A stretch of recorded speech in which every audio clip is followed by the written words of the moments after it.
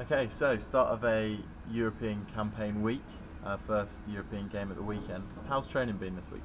Training's been going really well. You know, the, the club's really excited about you know the, the opportunity for the, the players who are going to get a first hit out in a new competition. And uh, it's Rovigo this weekend. What are you expecting from them come the weekend? Uh, we're expecting a really physical side, uh, a, a, couple of uh, really big attacking threats uh, in their back line, and you have a, a 15 that likes to kick. So uh, it's going to be a good challenge, and we're looking forward to it. And what would you say that make it is that makes European competitions so special? A chance to see uh, you know different rugby cultures. You don't get to play Italian sides that often, uh, and you know, the the travel's great fun. But it, it's it's a new challenge. It's a new culture of rugby to play against, and I'm really looking forward to getting stuck into it.